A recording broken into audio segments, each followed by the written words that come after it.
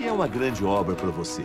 Para nós, o tamanho da obra está na importância que ela tem para a vida das pessoas. Pimentel investiu no sistema de captação do rio Paraopeba, que garantiu o abastecimento de água para Belo Horizonte e região. Também fez as obras de captação no rio Pacuí, acabando com o racionamento em Montes Claros e beneficiando 380 mil moradores da região. Você pode ter certeza, nós vamos continuar governando ao lado dos mineiros, cuidando sempre dos que mais precisam.